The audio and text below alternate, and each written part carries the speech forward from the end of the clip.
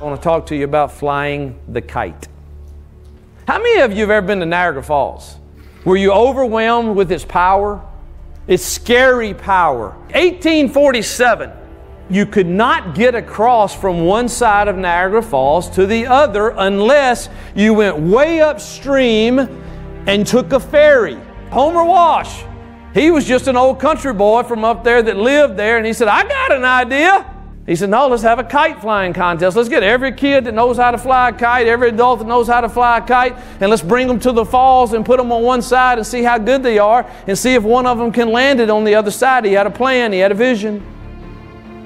They tied a string to a fishing line, pulled it across. They tied the fishing line to a rope, pulled the rope across. They tied the rope to a cable, pulled the cable across.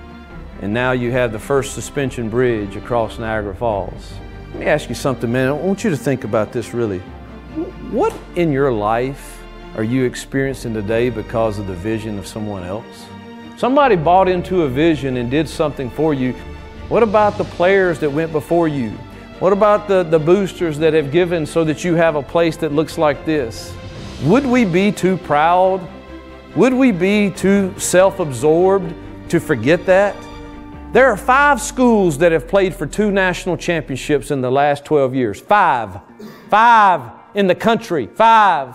Five. And you sit in a team meeting room of one of those five schools. So some have gone before you that had vision. Coaches have gone before me that have vision. Coaches and players have proven that this program can have a vision and accomplish something special. What are you going to leave the people that follow you? What am I going to leave the people that follow me? You want to go from man where where you are right now to your destiny? You really want to flip the script and we start stacking habits.